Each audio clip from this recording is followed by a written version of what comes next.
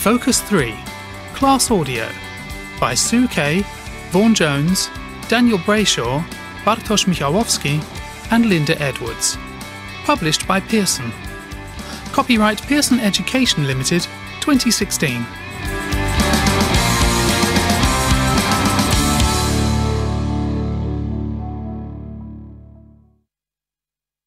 CD 1 Track 2 Welcome to Home Sweet Home. Today we're interviewing people who have unusual homes. Jason, can you tell us where you live? I live in a hotel. In fact, I've lived in this hotel since I was born. My parents run the hotel, that's their job. Have you ever lived in a house or an apartment? No, I haven't. But I love living in a hotel. You meet lots of interesting people, and the neighbours change all the time. Sometimes it's hard because I become friends with people who stay for a while and then they leave. It's hard when they've gone. But there are lots of good things about living in a hotel. I can use the swimming pool every day, and I never have to make my bed. It's great. Thanks, Jason. Our next guest is Ellie. Where do you live, Ellie? I'm living on a boat at the moment. Have you ever lived in a house or an apartment? Oh, yes. I live in a house with my parents half the year, and half the year we live on the boat. It's too cold in winter. I've been on the boat for two months now. Do you move around much? Mm, not very much, but it's nice to know that we can move if we want to. Thank you, Ellie. Our third and final guest for today is Michael. Where do you live, Michael? Uh, I live in a school. My father is a head teacher of a boarding school, so we live there. What's it like living in a school? Um, it's okay. I enjoy living near my friends. Have you ever been late for class? no, I'm always on time. CD 1 Track 3 Did you recognise the national dishes and where they come from? The first one is a simple dish. You cook some lamb, a lot of potatoes, and a few onions together. Some people add carrots and other vegetables, but experts say that the real stew doesn't have any other vegetables. This simple but delicious stew is the national dish of Ireland. In the next English-speaking country, roast beef and Yorkshire pudding is a popular dish for Sunday lunchtime, but most people say that fish and chips is the national dish. Unfortunately, it's been so popular that there isn't much cod left in the sea. Of course, this is the national dish of England. Moving on, it's hard to choose one national dish for this huge country because there are so many regional dishes. But few people can resist the most popular dish in this country a big hamburger with lots of chips and tomato sauce. Yes, you've guessed, we're talking about the USA. Finally, in our last country, there aren't any national dishes, but there are a few favourites. Meat pies, roast lamb and vegetables, barbecued steak and sausages. Where will you find all that meat? In Australia, of course. CD 1 Track 4 Hi, Simon. How are you doing? Really well. I've just finished my exams. Oh, great. Look at you. I haven't finished yet. Three more to go. Oh well, good luck.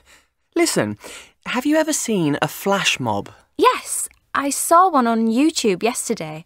It was fantastic, but I haven't seen a real one. Hmm, me neither, but I've watched a few online. Yesterday, I watched a surprise flash mob for a girl's 18th birthday. Oh, right. so, I want to organise one for my sister's birthday. Will you help me? You have to learn a dance. Dance? Are, are you sure? Uh, have you asked anybody else yet? Yes, I've already asked lots of people. I spoke to Sally five minutes ago and she said yes. But she's a good dancer and I'm not. Don't worry, we have plenty of time. I haven't chosen the music yet. CD1. Track 5. Teen attitudes to money. We ask brother and sister, Tom and Zoe, about their attitudes to money and shopping. Zoe. I think I'm very good with money. I don't have much money though because I'm still at school, but I'm more careful than my brother. For example, he spends his birthday money as soon as he gets it. Also, he's older than me and has a weekend job, so he's richer than I am. To be honest, I think he's stupid with his money. The most expensive thing I've ever bought is a leather jacket, and that was second hand, so it wasn't as expensive as a new one. I don't go out much. Tom says I'm not sociable enough, but I just like staying at home. Tom. I'm more generous than Zoe. In fact, I'm probably too generous. If I have money, I spend it. I'm richer than Zoe because I work at the weekend. But she's more careful than me, so she always has money and I never have any.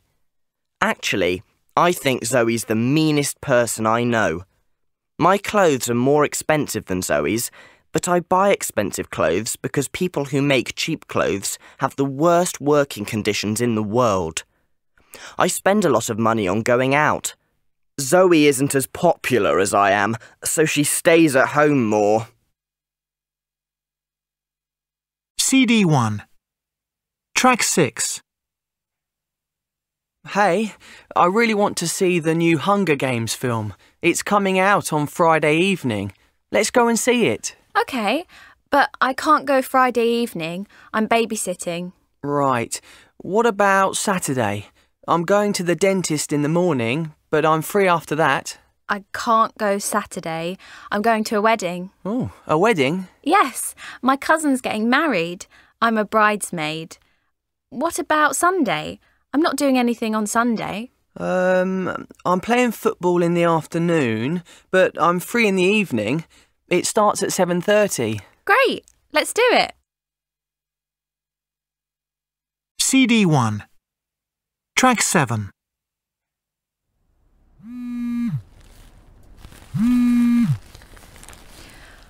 Hi, Luke. What time is it? Two o'clock in the afternoon. I'm going to buy the cinema tickets online. Are you sure you're coming? Yeah. What time? It starts at 7:30, but I'm going to get there early. We want good seats, don't we? Yeah, yeah, we do. I'm going to get a lift with my mum. Do you want us to pick you up? Please. Okay. Uh, we'll pick you up at 6:45. Okay? Great. I'll buy the popcorn.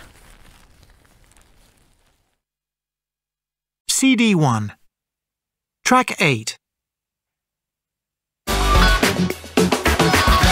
Good morning and welcome to Connected, our weekly technology programme. Today we have Susan Redwood in the studio.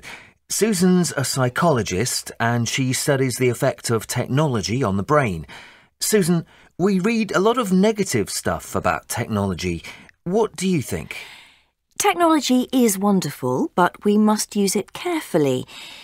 If technology rules your life, you won't be a happy, healthy person. For example, if you spend a lot of time playing video games and you don't get any exercise, you won't be healthy. But I don't know many people like that. Most young people I know play video games, but they also play sports. What about people who are addicted to video games? Some people have addictive personalities and they don't know when to stop. In these cases, their studies will suffer, but it's a very small percentage of people who are addicted to video games. Most people play video games when they've finished their homework and they continue to get good marks at school. Do you think social networking makes people antisocial? I get really annoyed when people say that social networking replaces real friends. It's just not true. In fact, social networking is all about communicating and connecting with other people. Hmm. It helps shy people and it's a very good thing. but if you use social networking, will you lose your privacy? If you don't use social networking carefully, you'll lose your privacy. It's very simple. If you want to keep something secret, don't write about it online. Some people say you shouldn't use technology for a few hours before bedtime. Ah, that's true. If you use the internet or play video games in bed, you won't sleep very well because your brain will be stimulated. My advice is put technology away a couple of hours before bedtime and read a book in bed. CD 1. Track 9. Do you fancy doing a questionnaire about technology, Jake? Yeah, why not? OK. Question one. What would you buy if you had 500 euros to spend on technology? Um, I love listening to music really loud. So if I had 500 euros to spend, I'd buy new speakers. I don't suppose your parents would be very happy about that. If I had 500 euros, I definitely wouldn't buy speakers. I'd buy a laptop so I didn't have to borrow my mum's. Could you live without your laptop? Uh, yes. If I had to live without one of my devices, I'd probably give up my laptop. I could do everything on my phone. Ah, it's okay for you. I've only got one device, my phone. So if I had to give up my phone, I wouldn't be able to go online or text or anything. Oh dear. So what would you do if you were with a friend and she texted someone else the whole time? Mm, if there were only two of us, I'd be really annoyed. I think it's rude. Really? Well, I wouldn't care if my friend texted someone else the whole time. I'd do the same. Well, please don't do it when you're with me. Anyway, next question. If you had a blog, what would you blog about? If I had a blog, I'd blog about food. What about you? I don't have time to blog. But if I had time, I'd blog about music. Oh, yes, you'd be good at that. And the last question. If you could time travel, what time would you travel to? Um, I think I'd go to 1970 if I could. I really like the music of that time. Oh, if I could time travel, I'd go to the future, to the year 3000. the year 3000? There may not be a world then. CD 1. Track 10. The strict teacher. She stands at the front of the class and you have to listen to her. When she asks a question, you're not allowed to call out the answer. You have to put your hand in the air. You mustn't talk in class and you have to do your homework on time, no excuses. The relaxed teacher. The opposite of the strict teacher. You are allowed to call out answers, and sometimes you can call him by his first name. You have to do your homework, but you don't need to do it exactly on time. But there are rules. You can't use your phone in class, and when you talk to your classmates, it has to be about the subject of the lesson. CD 1. Track 11. What is an entrepreneur? Entrepreneurs are people who can turn dreams into reality. They enjoy being in situations that challenge them. They are the kind of people that take risks and they don't follow the crowd. They want to create things that inspire other people. At school, they often have problems which teach them important life skills. There are many successful entrepreneurs who start life with little money or education.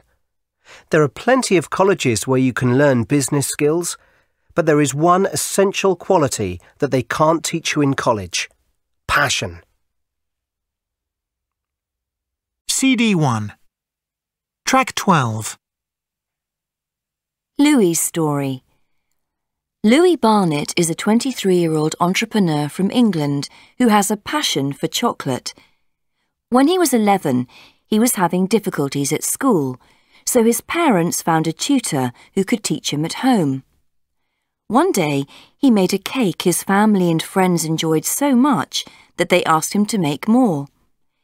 He learnt about different ways of making chocolate, and at the age of 12, he set up a company he called Chokolit. The name is inspired by the problems he has had with spelling.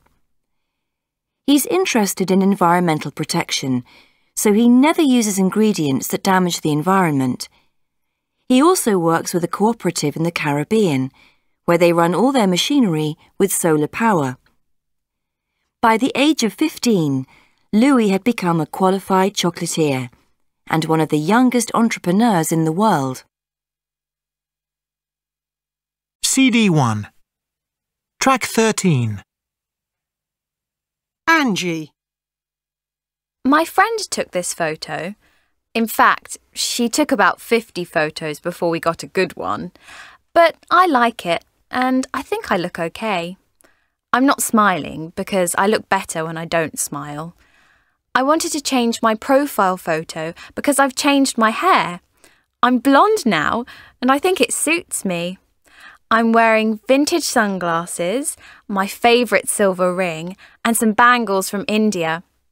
I'm also wearing a scarf in my hair, but you can't see it in this photo. Tim. I love this photo. It was a great party. That's me in the middle, and the others are my classmates. We're wearing formal clothes because it's the end of school party. The girls are wearing designer dresses. They look so glamorous. Even the teachers looked elegant. This is the first time I've worn a suit to a party. When we started dancing, I got really hot. So later, I took my jacket, waistcoat, and tie off, and at the end of the party, I couldn't find them. My mum was furious. Becky. My dad took this photo of me on my third birthday. I uploaded it because my friends don't believe I had fair hair when I was little. I don't look like that anymore. I was better looking then. But I still have the same smile. I love the woolen hat I'm wearing. It matches my winter coat. I've always been fashionable. I still wear thick tights, but not pink ones. And my mittens aren't attached to my coat now. I think I look really sweet, but my parents say I was a naughty child. Some things don't change. John. This is me in the Sierra Nevada. It's really sunny, so I'm just wearing a sweatshirt and shorts. Of course, I've got warm clothes in my backpack because camping at night can be cold. In the evening, I get changed into trousers and a fleece. The most important thing is the hiking boots. They have to fit perfectly. I love camping in the mountains, but it's too cold to get undressed and put pyjamas on at night. I usually sleep in my clothes. CD 1 Track 14 Formal clothes. A suit. A designer dress. A waistcoat. A tie. Casual clothes. Shorts. A sweatshirt. A fleece. A white cotton top. A winter coat. Shoes and accessories. Bangles. Vintage sunglasses. A silver ring. A scarf. A bracelet. Mittens. A woolen hat. Thick tights. Hiking boots. A baseball cap. CD 1 Track 15 1, Get dressed. 2, Get undressed. 3, Get changed. 4, Clothes fit you. 5, Clothes suit you. 6, Clothes match. CD 1 Track 16 1, Good looking. Attractive. Cute. Gorgeous. 2, Very nice. Popular. Adorable. Charming. 3, Cool. Elegant. Sophisticated. Stylish. 4, Childish. Immature. 5, Creative. Imaginative. 6, Brave. Adventurous. 7, Cheeky. Mischievous. CD1, Track 17. Hi, I'm Joe Mack, and I work as a fashion editor for Hip Magazine. I think I must have the best job in the world because today I'm working at the Coachella Music Festival in California. The question I'm asking is what is the festival look this year? 10,000 people are listening to music here, and I believe the temperature is 32 degrees. I know the Killers are on later, and I'm thinking about going to see them, but right now I'm speaking to people about what they're wearing and why. CD1, Track 18. Hi, I'm reporting on festival fashion for Hip Magazine. I like your hat. Thanks! I don't usually wear hats, but it's really hot, so I'm wearing this baseball cap. It belongs to my boyfriend. He doesn't need it because he isn't here today. He's revising for his exams. Oh, that's a shame. No, it's okay. My boyfriend hates festivals. He prefers listening to music at home. I really want to see the White Stripes. I listen to their music all the time. CD1, Track 19. Hi, I'm reporting on festival fashion for Hip Magazine. Are you enjoying the festival? yes, I'm having a really good time. I love your t shirt. Oh, thanks. It's my festival t shirt. Oh, it looks great. Why are you wearing jeans? It's so hot. My legs are very skinny, and so I never wear shorts, even in summer. In fact, I don't have any shorts. So, which bands do you want to see today? Uh, I like the Foo Fighters, but I don't know when they're on. I- I'm looking for a festival program. I have one here.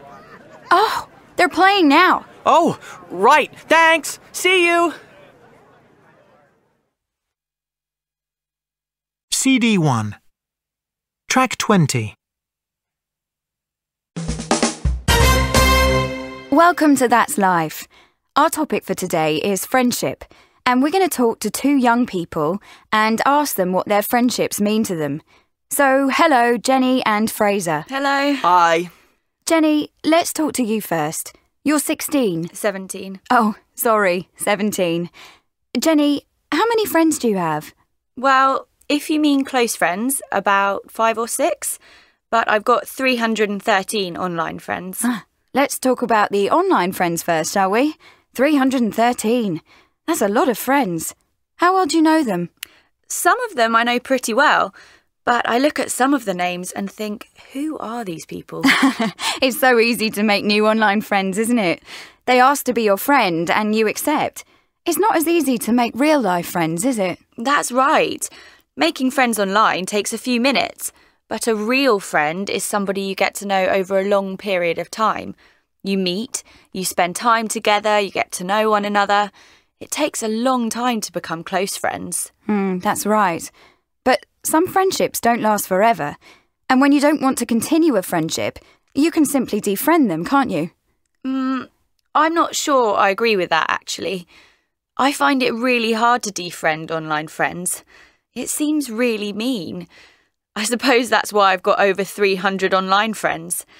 In real life, if you fall out with a friend, you stop seeing them. Or sometimes you decide that you no longer have much in common. You no longer like the same things, or you've changed. Then you lose touch. You don't have to make the decision. It just happens naturally. Yes, I see what you mean. Fraser, what do you think? How do you make the difference between close friends and online friends? Well, all my close friends are also online friends. When we don't see one another, we chat online. But I'd say my closest friends are the ones I socialise with. We have a lot in common. We support the same football team, we listen to the same music, and we go hiking and camping at the weekend. We get on really well together. Do you think there's any difference between friendship between girls and friendship between boys?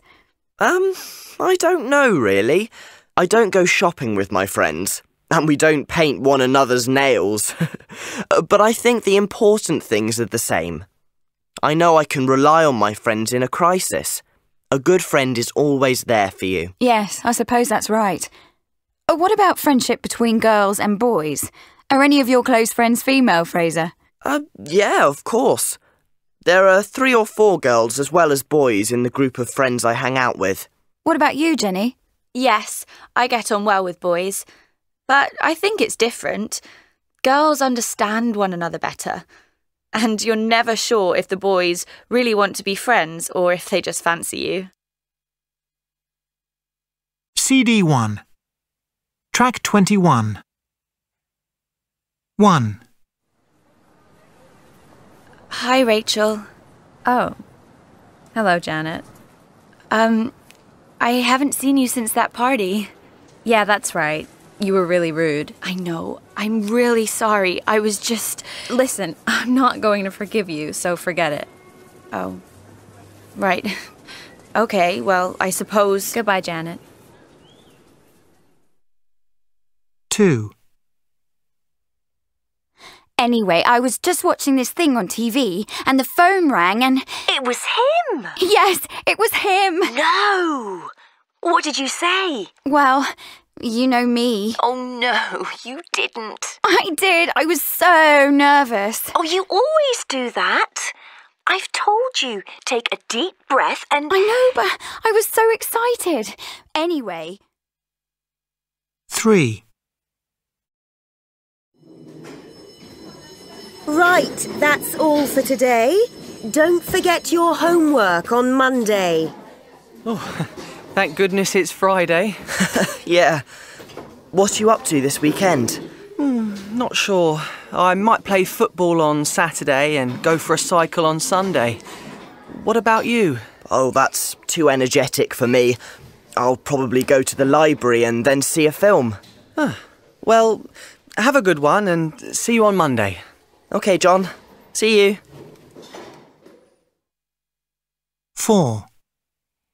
Hey, Sal. You coming to the party tonight? Um, no, I don't think so. What's up? You don't look very happy. Sorry, I just. Well, I Um, things aren't very good at the moment. Has something happened? No. Well, yes. Not exactly. Come on. Let's go and get a cola and have a chat. Oh, thanks. I'd really like that. I'm afraid I'm not very good company at the moment. Listen, it doesn't matter. I'm too tired to go to the party tonight anyway. Let's get a DVD and stay in. CD 1. Track 22. A. 515. B. 214. C. 3,330. D.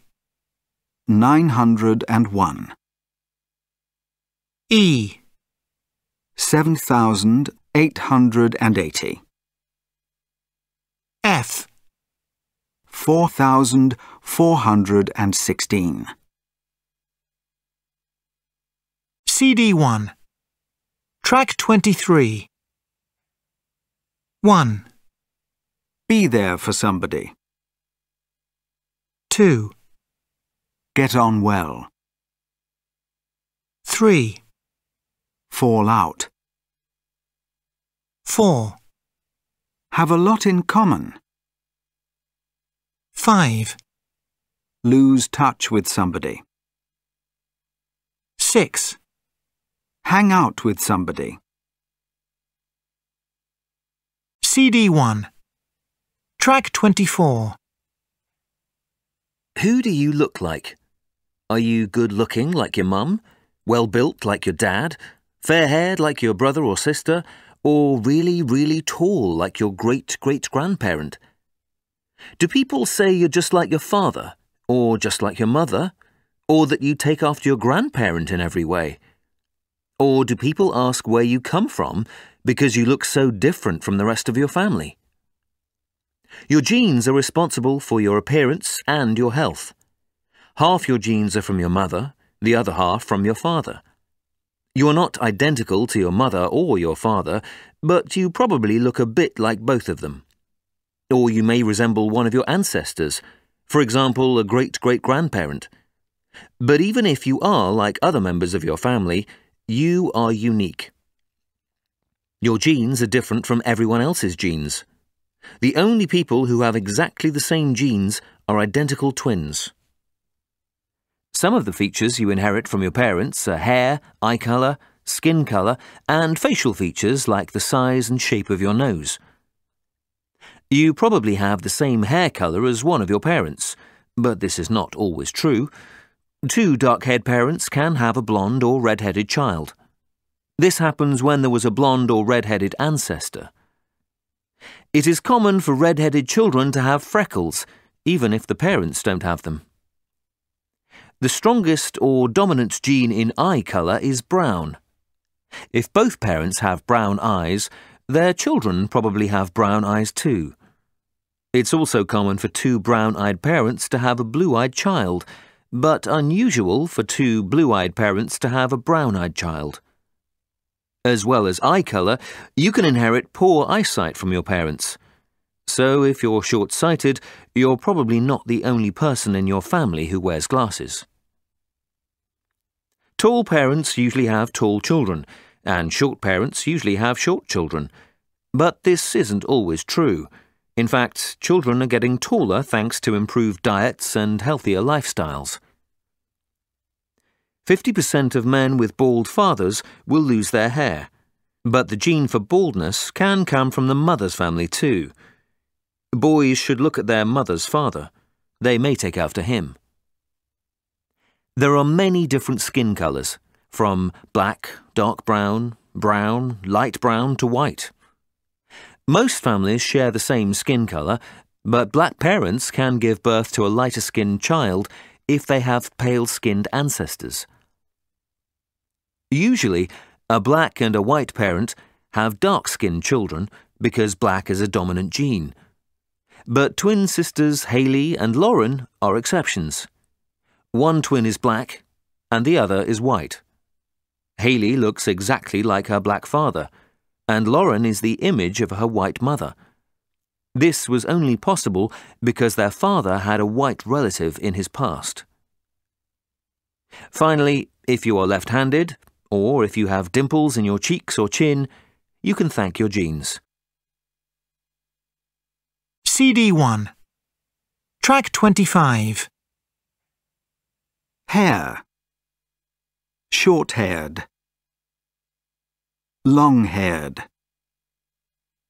Fair-haired. Dark-haired. Red-headed.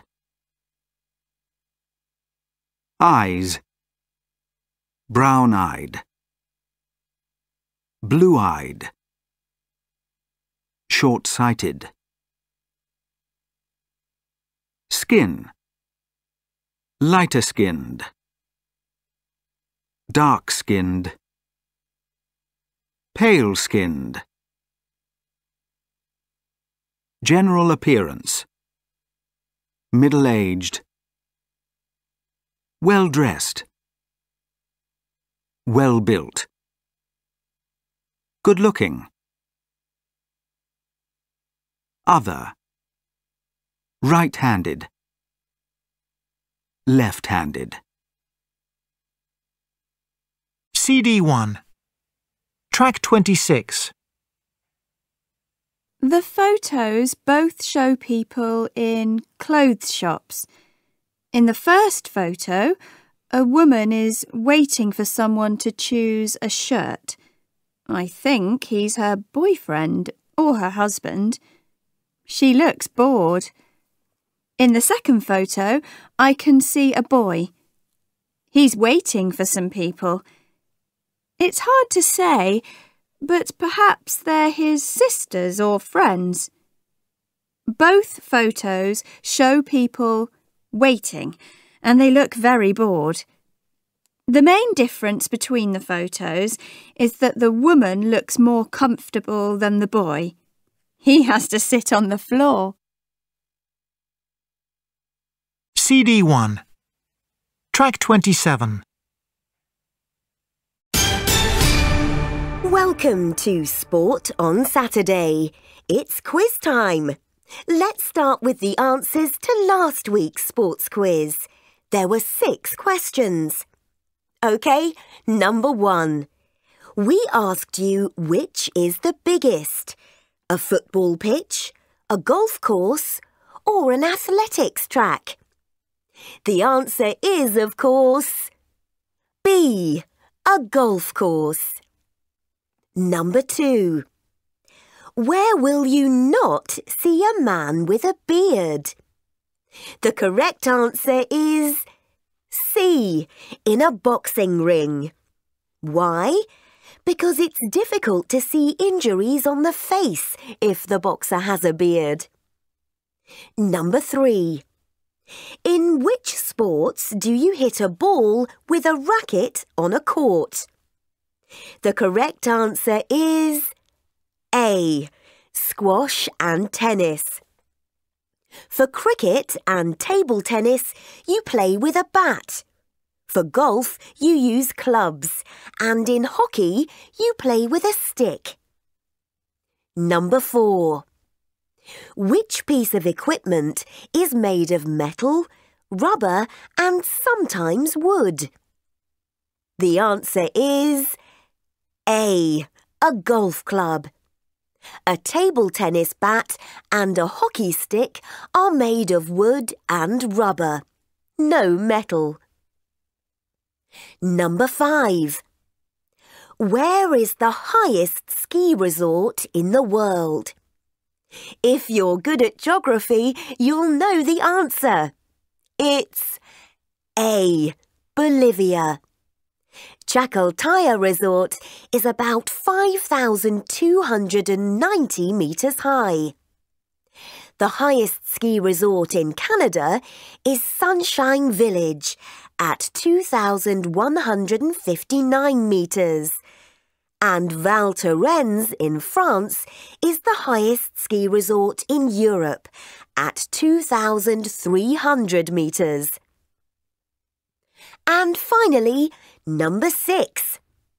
What can you find on the roof of the famous Burj Al Arab Hotel in Dubai?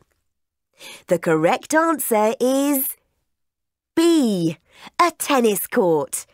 You can have a game of tennis and admire the view at the same time. Well, that's it. How did you do? Did you get a gold, silver or bronze? And now it's time for this week's quiz. The topic is... CD1. Track 28. Places where you do sport. 1. Basketball court. Squash court. Tennis court. Volleyball court. 2. Boxing ring. Wrestling ring. 3. Cricket pitch. Football pitch. Rugby pitch. Hockey pitch. 4. Cycle track. Motor racing track. Athletics track. 5. Golf course. 6, Ice rink. 7, Ski resort. 8, Swimming pool. Equipment. 9, Hockey stick. 10, Golf club. 11, Badminton racket. Squash racket. Tennis racket. 12, Baseball bat. Cricket bat. Table tennis bat. CD1. Track 29. 1, A coach. 2, A referee. 3, A teammate. 4, An athlete. 5, An opponent. 6, A fan. 7, A spectator. CD1. Track 30. I'm not into competitive sport. I'll never break a world record, and I'm sure I'll never win a prize for sport. In fact, I usually come last in races, and if I'm in a team, we always lose the match. I don't understand people who need to come first. I've even seen men cry when the opposing team scores a goal. I like being healthy and keeping fit, but I don't need to beat my opponent. I just need to enjoy the game. CD1. Track 31. 1, Win a prize. Win a match. Win a game. Win a point. 2, Beat an opponent. Beat the champion. 3, Lose a match. Lose a game. Lose a point. 4, Break a world record. 5, Come first. Come second. Come last. 6, Score a goal. Score a point. 7, Keep fit. Keep in shape. CD1. Track 32. Lucky break. In 1956, goalkeeper Bert Trautmann was playing for Manchester City in his first FA Cup final when he dived for the ball in the 75th minute. He knew that he had hurt himself, but he carried on playing. He helped his team to beat Birmingham City 3 1. He then went to hospital where the doctors couldn't believe he was still alive. He had broken his neck. CD1. Track 33.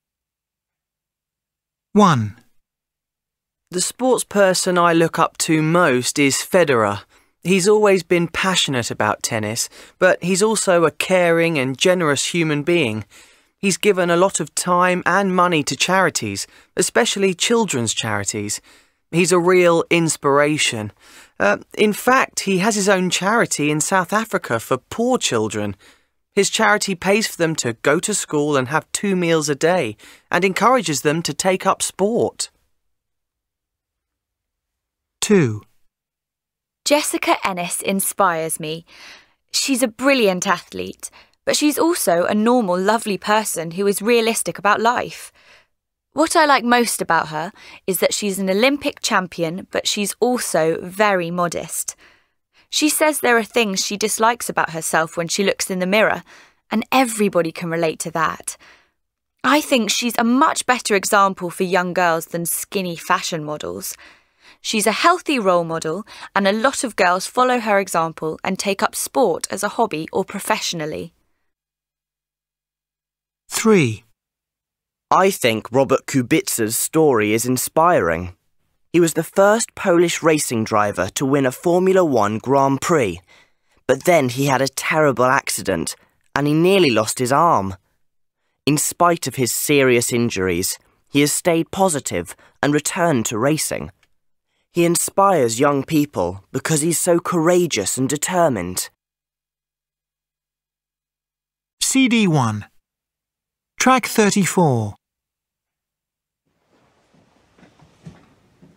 Hi, my name's Jackie Smith. I'm here today to tell you about how I became the international under 18 windsurfing champion at the age of 16. It's something I'm really proud of. I think I've been successful because of two people, really. My mum and my cousin Rachel have been my role models. I first went windsurfing with my mum. We lived near the sea and we spent every summer on the beach. My mum had entered windsurfing competitions when she was a teenager. She didn't win anything, but she really enjoyed it. She started to teach me windsurfing as soon as I could swim. I was only about seven years old. My cousin Rachel was there too. She and her family lived near us. My mum gave us lessons together. Rachel's two years older than me, and I've always looked up to her. I still do. Rachel was good at everything. She was a really good example for me. I wanted to be sporty, like her. I did a lot of different water sports because I grew up near the sea and it was natural. At first, windsurfing wasn't my favourite thing. I liked other water sports like swimming and sailing. I used to go sailing with Rachel, and then we joined a children's sailing club.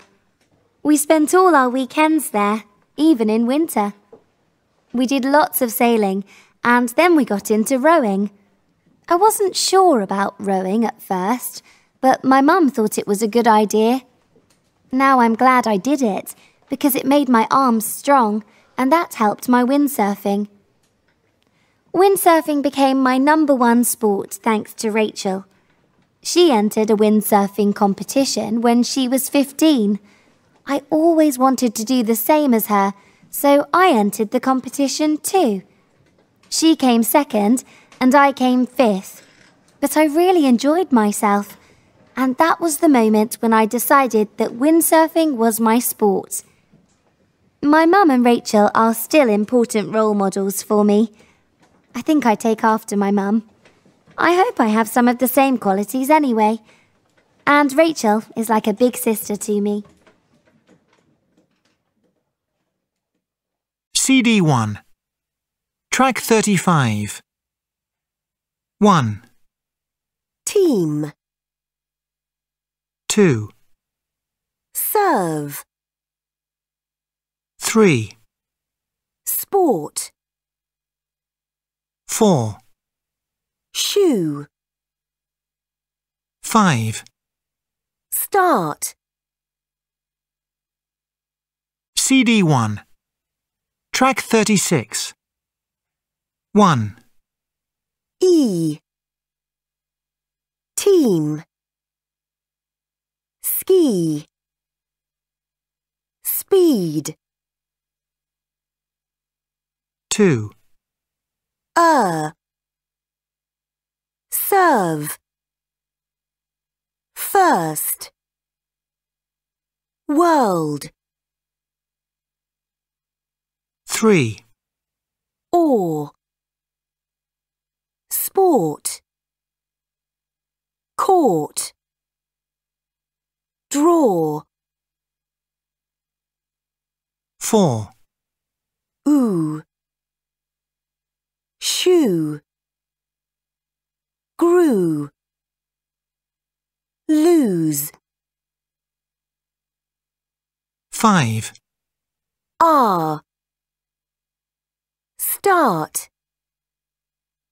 Arm. Heart. CD 1. Track 37. 1, Courage. Courageous. 2, Determination. Determined.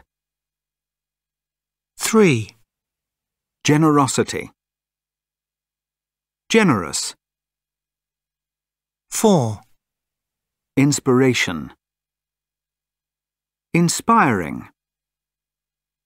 5, Modesty. Modest. 6, Passion. Passionate. CD 1. Track 38.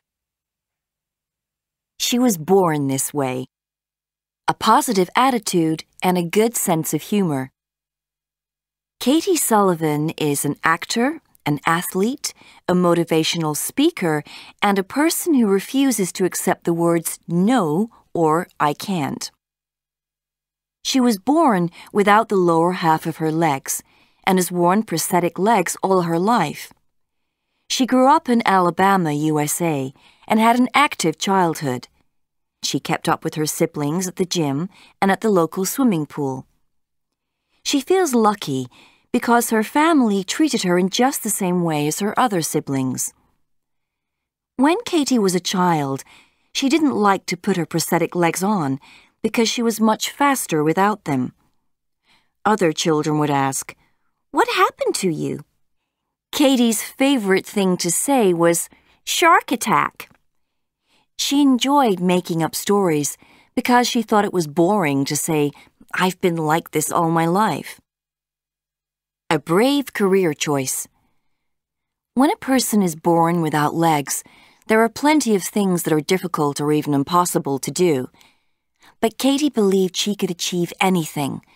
So she chose two occupations that are difficult even with both legs. When she was a teenager, she saw a production of Charlie and the Chocolate Factory. One of the actors was Katie's classmate at school. Before the play was over, Katie had made her mind up to be an actor. A new pair of legs and new challenges. She did a degree in theater and then moved to Los Angeles, where she has played roles in theater, television, and film. She has a positive outlook on life. She thinks that if you believe you can do something, you should go for it, and you shouldn't let anyone tell you that you can't do it. So when Katie's prosthetist asked her if she'd like to try running, she said yes. She was 25 and she had never run before, but as an actor, she liked to stay in shape. She thought running would be a good way to do that. She was given a pair of running legs and she set out on a new chapter of her life. Tragedy, then triumph on the track. Katie was the first person in the world with two prosthetic legs to take up running as a competitive sport. In 2007, she was chosen for the U.S. Paralympic team, but during training, she fell over and missed the chance to compete in the 2008 Beijing Paralympic Games. She was devastated and gave up running for two years. But then she took it up again and qualified for the final of the 100 metres in the 2012 London Paralympics. She didn't win, but she did beat her personal best time and set a new American record. She said that it was one of the most amazing moments of her life. Katie's family, friends, and fans look up to her as an example of someone who has overcome her disability and fulfilled her ambitions. CD 1. Track 39. 1, Keep up with. 2, Make up. 3, Make your mind up. 4, Set out. 5, Grow up. 6. Take up. 7. Give up. 8. Look up to. CD 1. Track 40. Visualization. Before an important event, I advise athletes to visit the stadium. This allows them to visualize the day of the competition. They can imagine the smells and the sounds in the stadium, and they imagine winning the competition. Then, when the day of the competition arrives, they try to recreate the success they imagined. Positive thinking. I encourage athletes to talk to themselves before a big race. I force them to concentrate on the times when they won.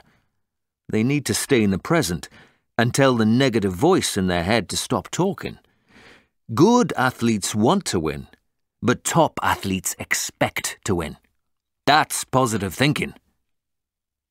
Relaxation. Even top athletes can't help feeling nervous, especially when they find themselves standing next to last year's champion. I let them talk to me about their worries, but on the day of the competition, negative thoughts are not allowed. It's a simple fact that if they manage to control their nerves, they tend to do better. Winning, it's all in the mind. CD 1. Track 41. Whoa! Ronaldo's just scored a fantastic goal. He's definitely the best footballer in the world. Hmm, I'm not so sure about that. What do you know about football? I know that some football players get a million euros a month. If you ask me, they earn too much. That's not true. Only a few players earn that much. And they deserve it. No way. Football players don't save lives. Football's just a game. Are you kidding? It's the most popular game in the world. That's true. But they don't do anything important. They just kick a ball. The thing is, football players can only play when they're young, so they have to earn a lot in a short time. I'm not convinced. I just don't think footballers are good role models. I'm sorry. I don't agree with you. They're great role models. They train really hard. CD 1. Track 42. 1. I think female athletes should earn the same salary as male athletes. I agree. All athletes should be paid equally. I'm not convinced. Men have to work harder. 2. If you ask me, running is the best sport in the world. That's true. You can do it anywhere and any time. That's not true. Playing team sports is much better. 3. In my opinion, golf is for old people. I agree. It's too slow for young people. Are you kidding? I'm 20 and I love playing golf. 4. I think boxing should be banned. It's too dangerous. No way. I think it's great. That's true. It's too violent. CD 1. Track 43.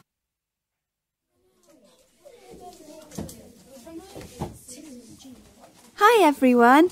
My name's Lily and I'm a swimmer. And I'm talking to you today because I want to encourage lots of you to take up swimming. It's a great sport. It isn't expensive to do and it keeps you really healthy. I started swimming when I was very young. I think I learnt to swim when I was about five. I didn't learn at the local leisure centre, but when I was in Spain on holiday with my parents. Then, when we came home, my parents paid for lessons for me, and I went once a week. I loved it straight away, and I got better and better.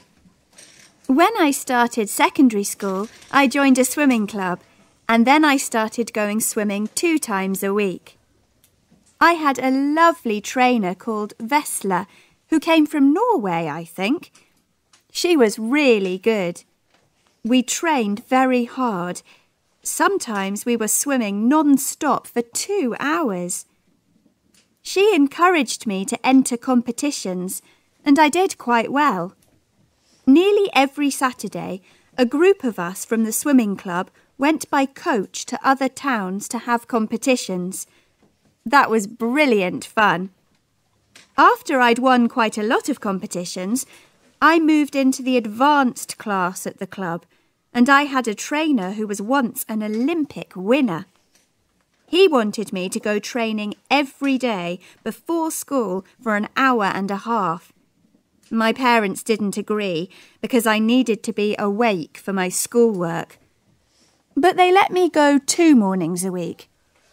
In the holidays, I can go every day. I love my swimming, and I would really recommend it as a sport to everyone. It isn't important to enter lots of competitions like me, but just do it for fun and to keep fit. CD 2 Track 1 1. Board a ship. Board a plane. Board a ferry. 2. Book a ticket. Book a flight. Book a hotel room. 3. Catch a train. Catch a bus. Catch a plane. 4. Cross Europe. Cross the sea. Cross a river. 5. Miss a train. Miss a bus. Miss a flight. 6. Reach Sydney. Reach your destination. 7. See the sights. CD 2 Track 2 Departure. 1. Go to the check-in desk. 2. Get your boarding pass. 3. Go through security. 4. Wait in the departure lounge. 5. Go to the gate and board the plane. 6. Put your bag in the overhead locker. 7. Fasten your seatbelt. 8. The plane takes off. Arrival. 9. The plane lands. 10. Get off the plane. 11. Go through passport control. 12. Collect your luggage in the baggage reclaim. CD 2 Track 3 1. Who's got the passports? Um, uh, you have, haven't you? No, you put them in your handbag. Oh, oh yes, here they are. Phew. Thank you. What is the purpose of your visit? Oh, we're visiting our family in a little place near. Okay, thank you. Next. 2. Any bags? Yes, just one. Hmm, 35 kilos. It's five kilos too heavy. Five kilos? Oh no, I didn't know what to pack, so I packed everything. That's 20 euros per kilo, a total of 100 euros. Oh no, that's all my spending money. Can I take something out? 3. We are pleased to announce that flight number 5200 to Abu Dhabi is ready to board at gate 16. Please proceed to gate 16 for flight number 5200 to Abu Dhabi. Where's Sharon? I don't know. She went to buy some perfume. Go and find her. Tell her we're boarding. 4. There's mine. What colour's yours? Black, like all the other bags. Oh dear. They all look the same. Time to buy a new suitcase. A pink one. 5. The captain has switched on the seatbelt signs for landing. Please return to your seats and fasten your seatbelts. Michael, wake up. Mm-hmm. We're there. What? That was quick. It was three hours, but you've been asleep the whole time. 6. Take your jacket and shoes off, please. OK, come through. OK, take your belt off, please, and go through again. Do you have anything in your pocket? No, nothing. Take your earrings off, please. All of them? OK, next, please. CD 2. Track 4. 1, Deal with. 2, Go away.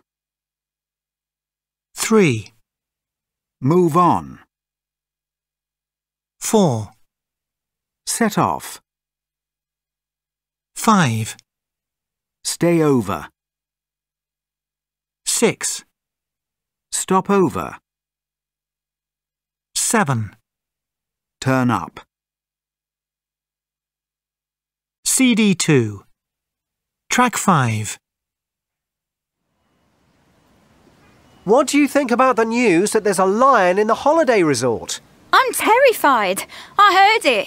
I was just making the tea when I heard a loud roar. It must be a lion. I've never heard anything like that before. It's very frightening, but I'm pleased the police are looking for it. I hope they find it before it finds them. And you, sir? Uh, I, I don't really know what to think. Several people say they saw a lion, so I suppose it might have escaped from the zoo. There's a zoo about 20 miles from here. How about you, madam? Well, it's a bit worrying, isn't it? I've got young children and a dog. It's the dog I worry about. If the lion has escaped from a zoo, it could be very hungry by now. It might not have eaten for a while. And my dog would make a nice snack for a lion.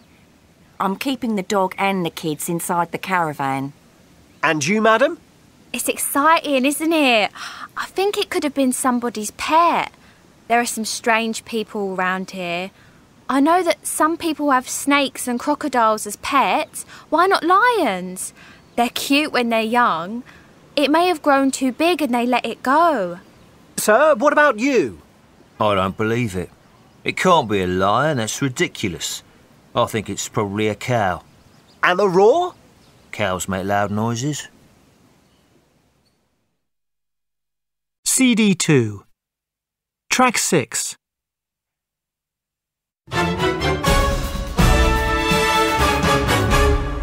And now the news from where you are. Thank you. This is Radio Essex. The search for an escaped lion has now been called off. Police were called to a popular holiday resort two days ago after receiving calls from worried residents. Several people reported seeing or hearing a lion. The local zoo has confirmed that no lion has escaped. The police found no footprints or any other signs that a large wild animal was in the area, and so they have concluded that it must have been a large domesticated cat. And now for today's sport. And CD 2. Track 7. 1, So, how was your family cruise? Oh, it was okay. Pretty good, really. We all got on well most of the time. We didn't have any arguments. Well, not until the last day. And then I had a really big argument with my sister. It was stupid, really. I wanted to get off the ship and visit Naples, But my sister was tired and wanted to stay on the ship by the pool.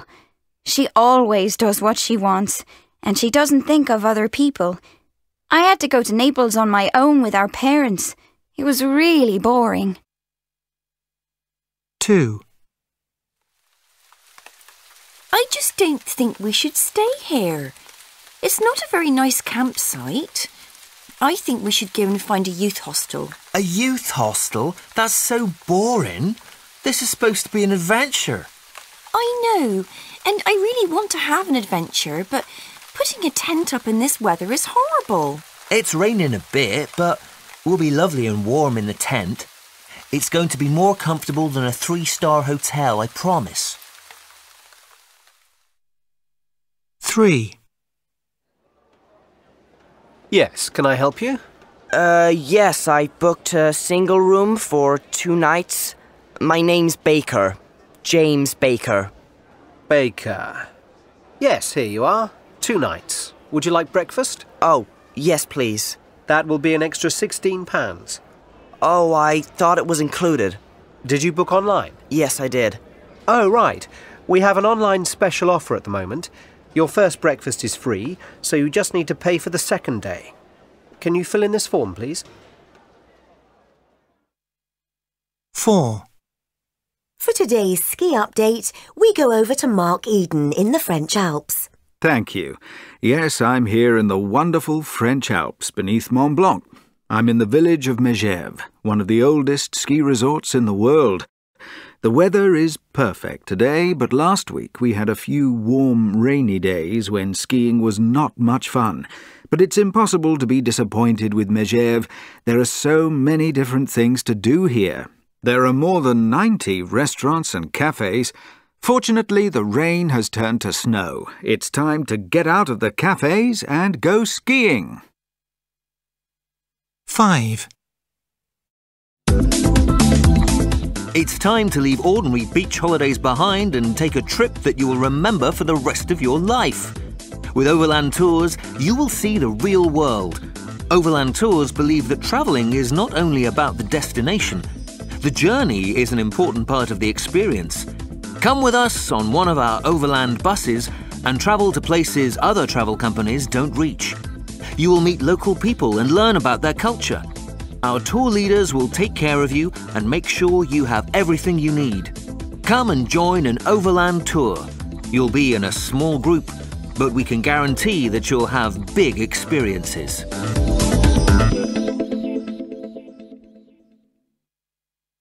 Six.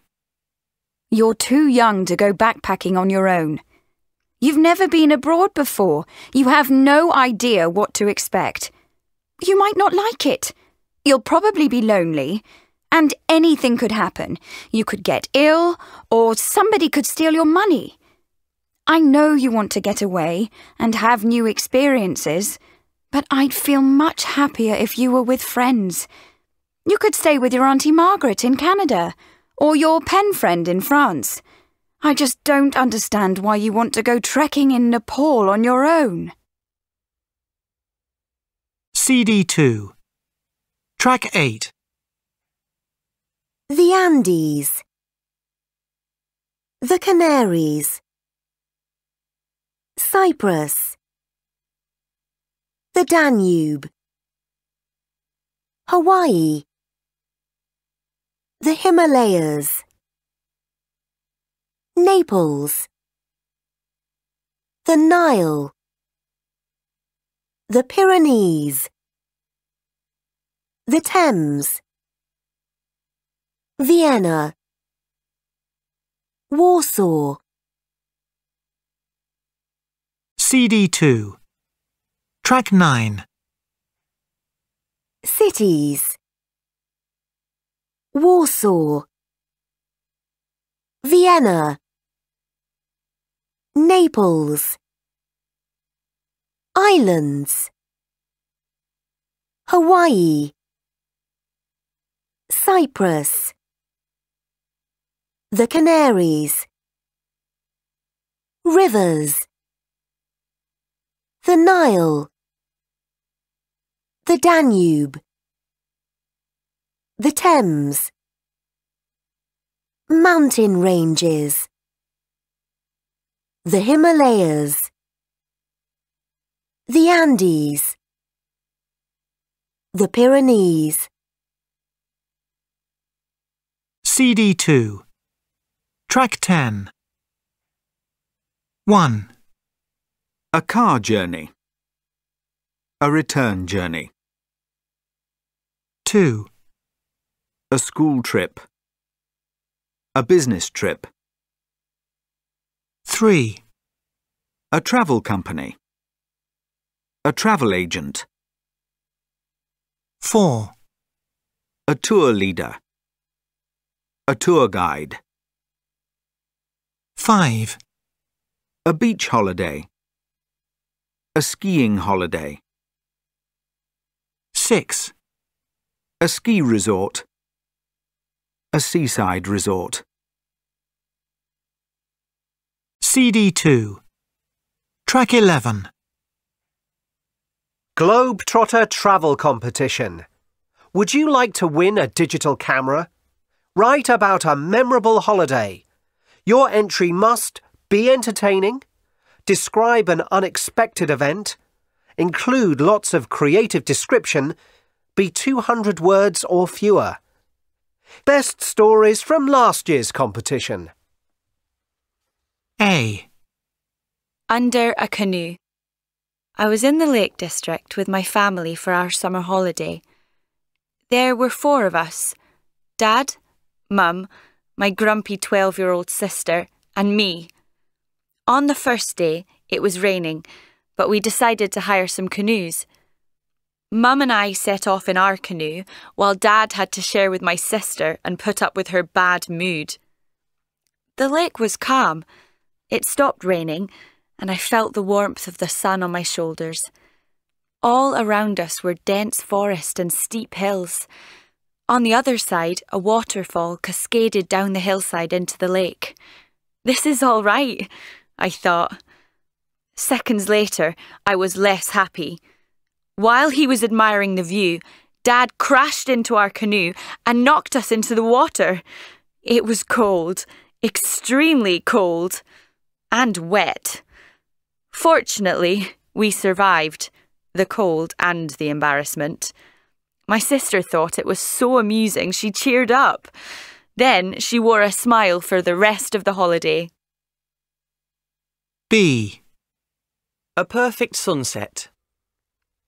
My girlfriend Betty and I were in Barcelona for a weekend.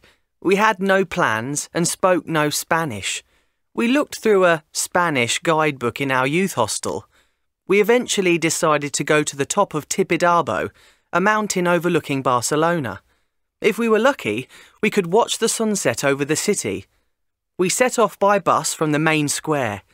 The bus took us higher and higher above the city. I couldn't wait to gaze at the stunning views over Barcelona. At every stop, passengers got off until we were the only two left. Then the bus driver stopped the bus and got off too. Tibidabo? we asked him. He pointed to a mountain on the other side of the valley. We were on the wrong mountain. We sat on a bench overlooking the sparkling lights of the city far below. We had no idea where we were, but we didn't care because we got our perfect view of a blood red sunset over Barcelona. C, Out in the wild. I love wild animals, so my parents took me on holiday to South Africa for my 18th birthday. I remember the holiday as a series of images the cold blue ocean, funny penguins, miles of unspoilt beaches, lively cafes, and friendly people. But the highlight of the holiday was a three day safari. Safari parks in South Africa are covered in trees and bushes.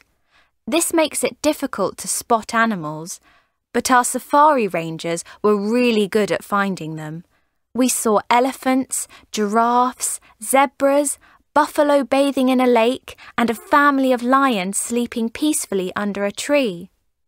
Suddenly, we heard a noise close to the jeep. There was a flash of yellow and a loud roar. Nobody moved a muscle. The leopard ran back into the bush and left us feeling terrified. Not far away sat two small leopard cubs. At that moment, I learnt something. Humans created the internet and spaceships, but we are helpless in the face of nature. CD 2. Track 12.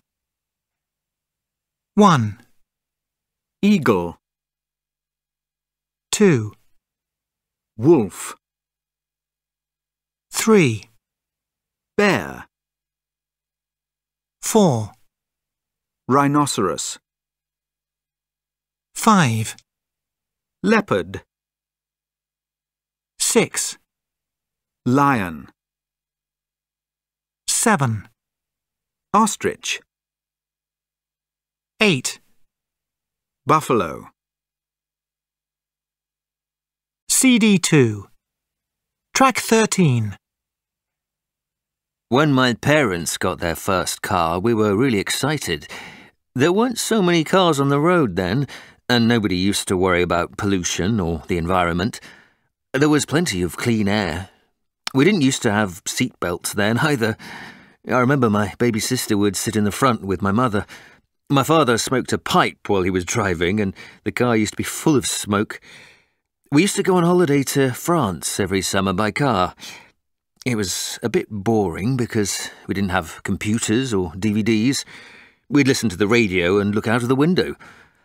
In France, my father followed a map. We didn't have GPS then.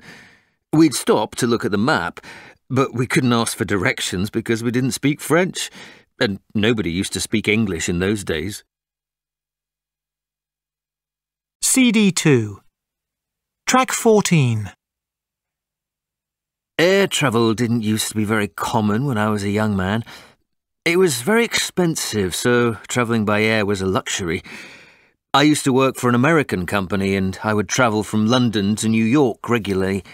Then the flight was just four hours by Concorde. It takes eight hours now. On Concorde, the cabin crew would look after you really well. They'd offer you food, drinks, or even cigarettes. Lots of people would smoke. It's funny. People would dress up to go on a plane. They'd put their best clothes on. Men would wear suits, and women would wear their smartest outfits. It used to be a glamorous way to travel. Not like now. It's so stressful. We didn't used to go through security at the airport. I would carry my Swiss army knife everywhere. That's impossible now. Are planes safer now? Probably. But travelling by air is a very different experience. CD 2. Track 15. Left or right?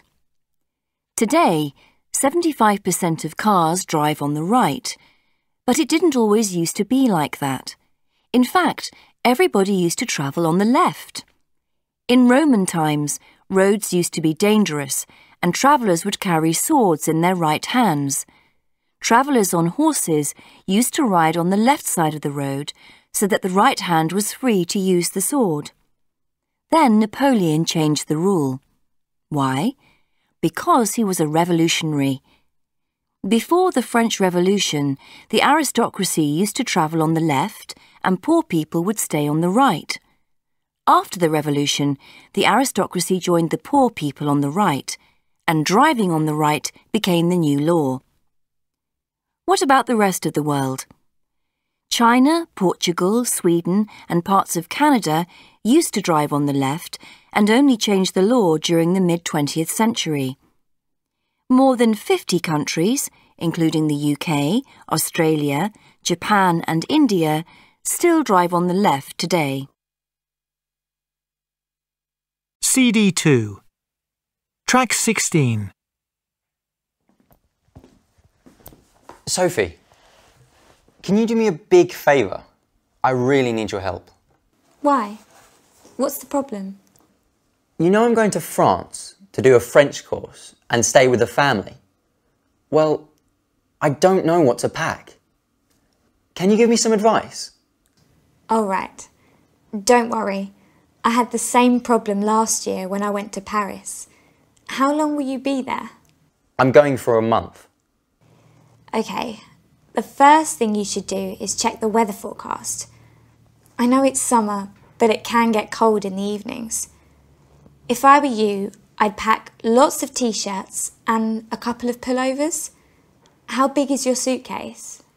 It's not very big. I don't want to check it in. Mm, I think you should check it in.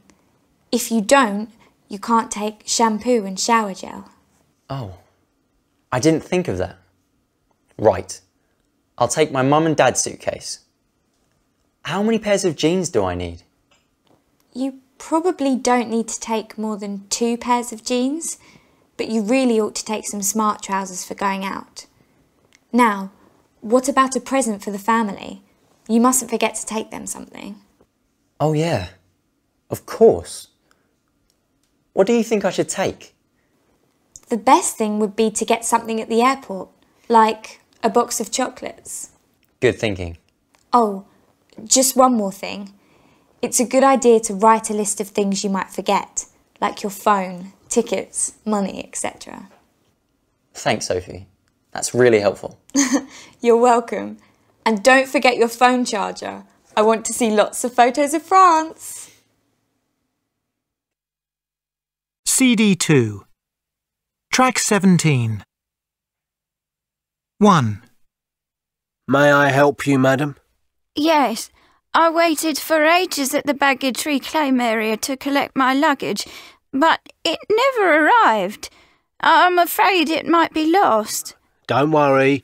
Most luggage is usually found within an hour. Could I have your name and flight details, please? Yes. My name is Lucinda Healan.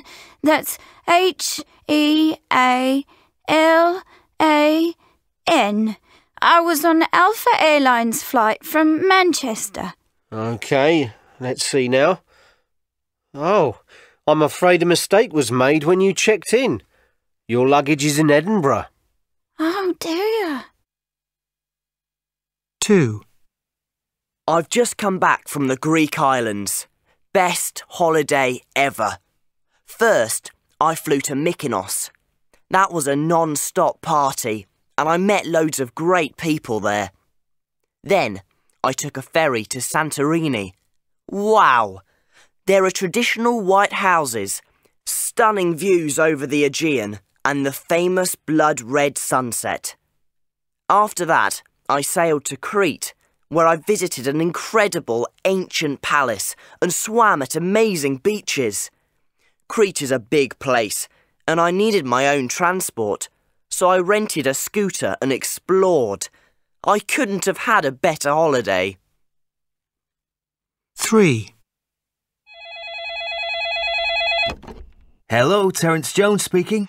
Oh, Terry, I'm so glad I caught you before you left the office. Gina, hello. What's up? Aren't you on your way to New York? I was, but traffic has stopped on the motorway. Nothing's moving. There could have been an accident. Maybe. But right now, I need you to check what other flights there are for New York tonight. Just in case I miss mine, you know. No problem. I'll find out and call you back. 4. On today's segment of Where Have You Been, I'm asking the question which is the most visited city in the world? It must be Paris, right? Wrong. Is it London? Wrong again. The most popular destination is Bangkok, the capital of Thailand. It's the first time that an Asian city has been the most popular. This year, it had nearly 16 million international visitors, only slightly more than London, which was the previous number one city destination. Will it still be so popular next year? 5. Oh, do hurry up. The woman on the ferry said we can get the best seats if we're there first. I'm walking as fast as I can and I'm carrying a heavy backpack. Well, you're the one who wanted to bring a big fancy camera as well as a video camera. Yes, because we'll have a great view from the top and I can take shots of all the important sites. Anyway, we haven't even got tickets. We can get them from the driver. 6. It's so easy to plan a trip these days, isn't it? That's because of the internet, of course. When I used to travel as a young man, I would find a travel agent to book a hotel room abroad. I would ask the agent a lot of questions, and he would give me some ideas for the trip. He had brochures and things like that. But the photos in them were always glossy and professional, taken from the best angles. I had no real idea what the hotel would be like. There was nowhere to read comments by other tourists. Now I know exactly where I'm going and what to expect. CD2 Track 18 Fish and seafood.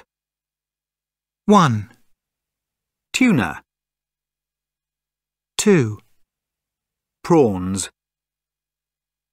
3, Sardines. 4, Shellfish. 5, Salmon. Vegetables. 6, Cabbage. 7, Beetroot. 8, Green beans. 9, Brussels sprouts. 10, Red peppers. CD2 Track 19 1, Bitter. Sweet. 2, Cooked. Raw. 3, Fresh. Stale. 4, Hot or spicy. Mild. 5, Unripe. Ripe. CD2 Track 20 1, Crisp. Crispy. 2, Grease. Greasy. 3, Juice. Juicy. 4, Salt. Salty. 5, Smell. Smelly. 6, Taste. Tasty. CD2 Track 21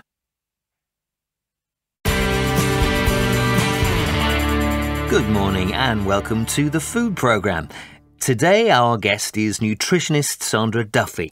Hello and welcome to the programme, Sandra. Hello, thanks for inviting me. Sandra, how do I know if my diet is healthy or not? Well, that's a good question, and the easy answer is do you feel well? Do you have plenty of energy? And secondly, do you look well? Does your skin and your hair look healthy? If you don't feel or look well, your diet may not be healthy. I always say that a healthy diet is a balanced one. You need a bit of everything, but not too much of anything, especially salt or sugar. A little salt and sugar is okay, but you shouldn't eat too much. For instance, there is a lot of salt in crisps and fast food, and a huge amount of sugar in fizzy drinks. I don't think people realise this. If you have a balanced diet, you get enough protein and vitamins.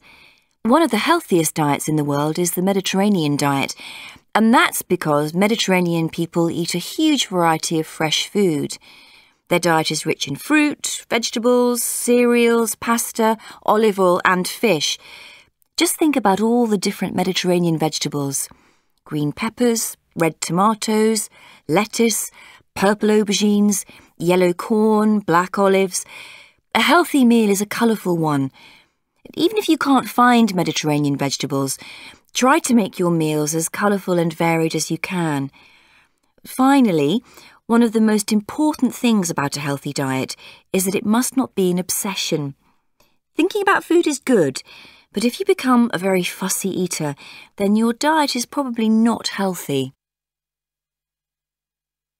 CD 2 Track 22 1. I'm interested in having a natural diet, and so for the last two years I've only eaten raw food. I believe that when you cook fresh food, you lose the goodness and vitamins in the food. I eat raw vegetables, but of course I need protein, so I eat raw eggs. For dessert, I eat fruit. I feel healthy and I have lots of energy, but it's difficult to eat with the rest of my family, and that's a problem. 2. I love desserts. Cakes, puddings, chocolate, anything sweet. But one day I read an article about sugar and how bad it is for you. I thought about giving up desserts, but I couldn't do it. It's impossible. So I decided to divide the week into dessert days and non dessert days.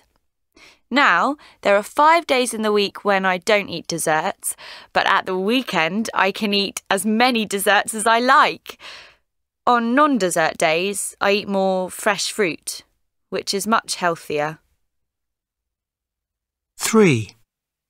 I only eat food that is grown or produced near my home. That means there's less choice because I don't live in a Mediterranean country. But the fruit and vegetables I eat are really fresh and they taste so good. I do eat a lot of vegetables, but I'm not vegetarian. I tried once when I was about 14, but I missed meat, especially roast chicken. Now my parents have hens in the garden, and so we have fresh eggs every day. The best thing about eating locally produced food is that it's good for the environment. No planes or lorries are involved in transporting food for long distances. I think that's a good thing. 4. I'm a vegan. That means I don't eat or use any animal products for any purpose. I don't eat meat, fish, dairy, or anything that comes from animals. I don't wear clothes made from animals either. When I was a child, I ate meat and drank milk like most people. But then, when I was 13, I started thinking about where my food came from. I learnt about how animals suffer, and I was shocked. I decided to become a vegan, and I've become very good at cooking lovely vegan meals. I respect animals, and I don't want them to suffer. CD 2 Track 23 1. Coffee Orange 2. Beef Beans 3. Grapes Cakes 4. Banana Avocado 5. Cabbage Spinach